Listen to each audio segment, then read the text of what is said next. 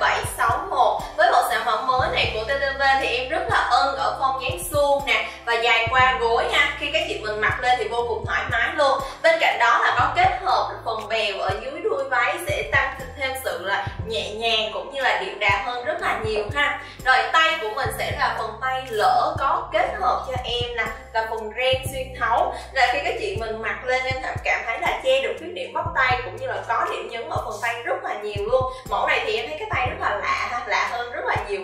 Thường hay có ở TTV và bên cạnh đó thì với cái form dáng này thì mình mặc lên là không có thấy bụng nè, che khuyết điểm rất là tốt luôn ạ. À. và với mẫu sản phẩm này thì có một màu xanh cổ vịt duy nhất. Thì em thấy là màu này mặc lên sáng da, nâng tông da của mình hơn.